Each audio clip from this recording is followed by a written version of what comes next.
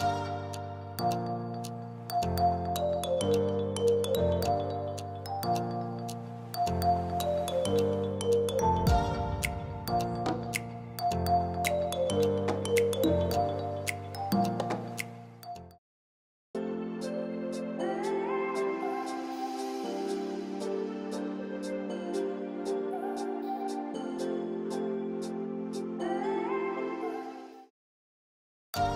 Welcome back to the Fathomless Missions YouTube channel. In this episode, Dan and I head out to the Mokes for an overnight trip, and the trip started with this beautiful sunrise at Omaha Boat Ramp. Give us a thumbs up.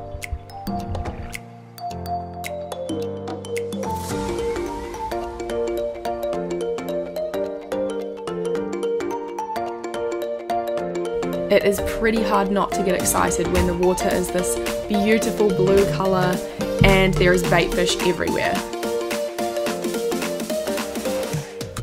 We do a couple of dives in the shallows and then head out to a slightly deeper reef.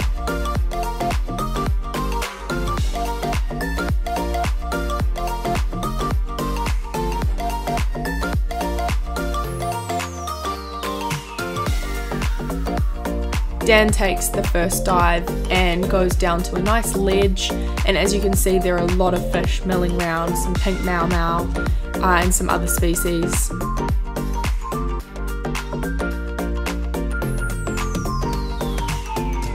Before Dan sees it, the camera sees a flash of orange on the bottom of the screen. This orange colour belongs to a golden snapper, Golden snapper on the mainland are a bit of a rarity. They're not all that common to see as they are usually a deeper water fish. Dan finally sees the golden snapper and follows it down for a bit before getting a nice shot in on it.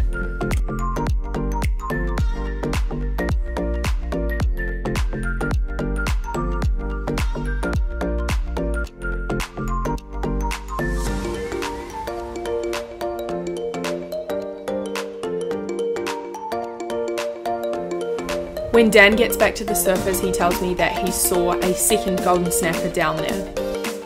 So I breathe up and take a dive. The depth at which Dan shot his is much deeper than I normally dive, but I managed to pull one out of the bag and get down there. It really couldn't have been more perfect. I saw it pretty quickly after I got down there, which was good because I didn't have a lot of time.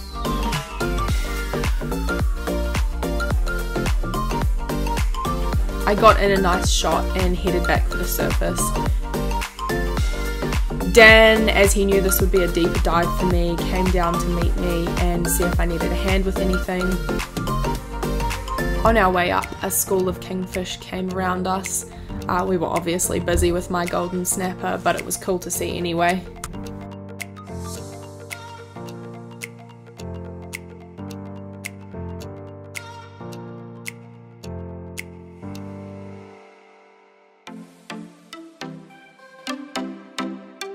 We were both really stoked that we managed to get golden snapper.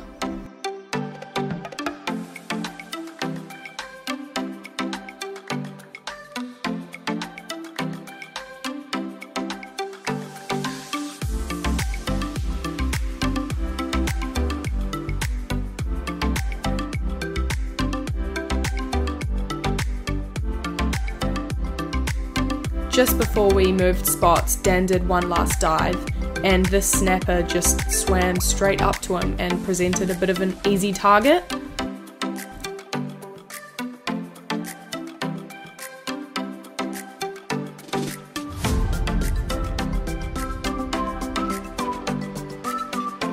With these fish safely on board, we shifted spots to another rock nearby.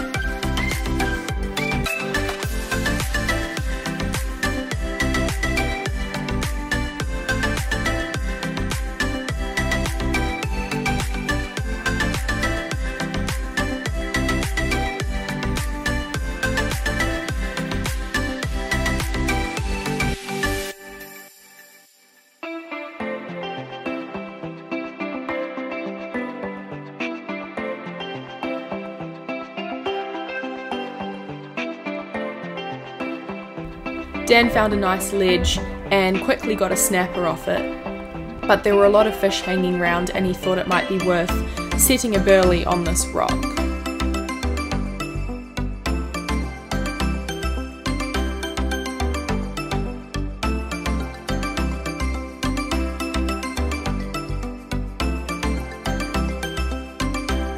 A lot of snapper came in on the burley of all different sizes, and none of them seemed that phased by our presence. So we didn't shoot anymore, we just spent the next 20 minutes or half an hour taking turns diving down and looking at them.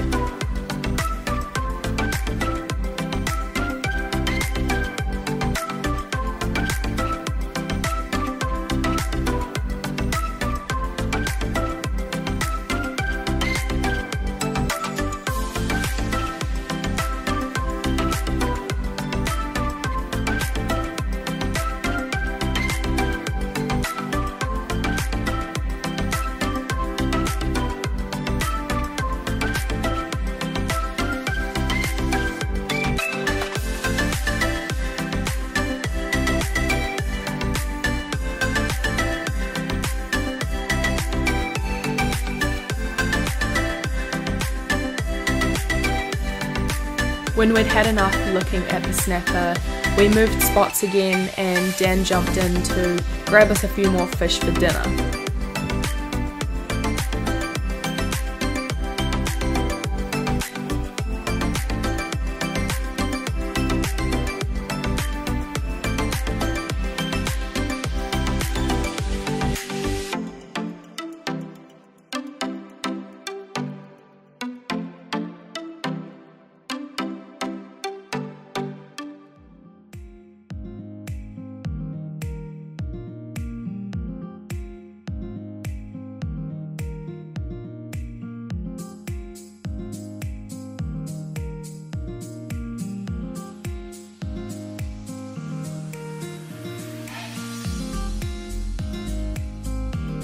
There were plenty of snap around, so he didn't have any trouble getting us another couple of fish by snooping along over rocks and ledges.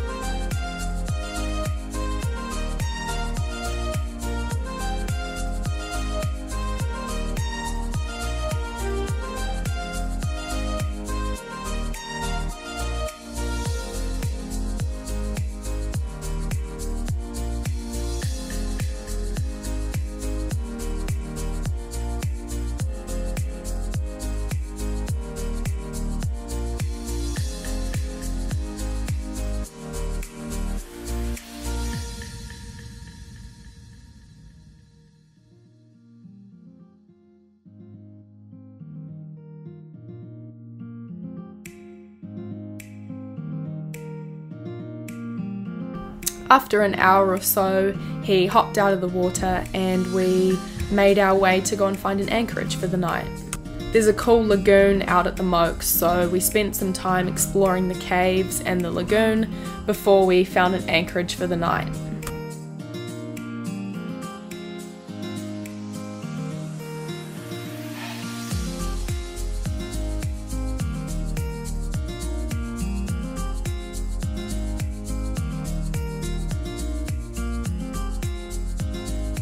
Once we were settled in our anchorage, Dan filleted up a couple of the fish and we cooked up some dinner.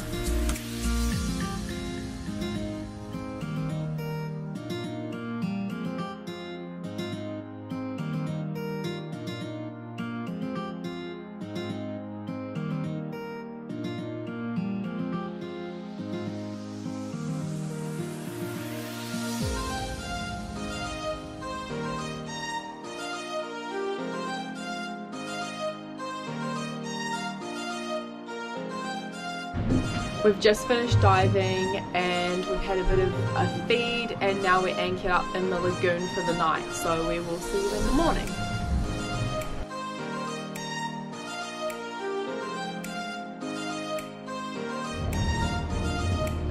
Good morning, it is a beautiful day. Daylight saving time ended last night so um, we have an extra hour of diving in the morning which is really nice. The next morning we didn't have any specific places we wanted to go or any specific fish we wanted to shoot. So we just had a bit of a play around in some of our usual spots, had a bit of a dive and looked at the sights.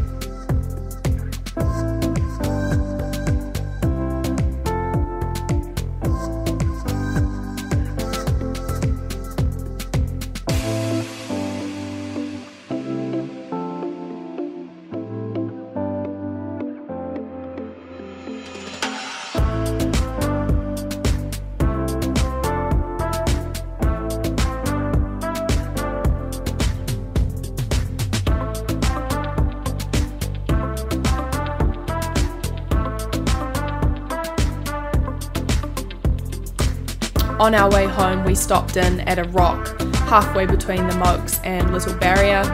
We thought we would see if there was any big kingfish there. There wasn't, but we got a pink maomao and called it a day.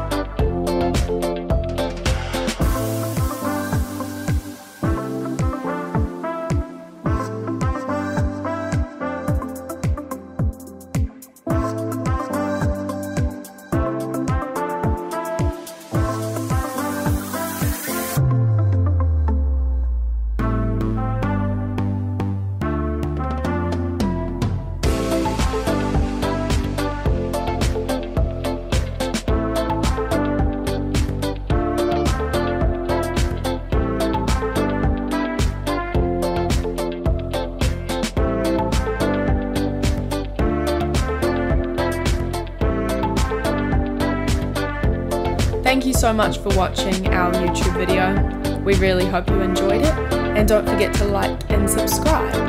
Thanks guys.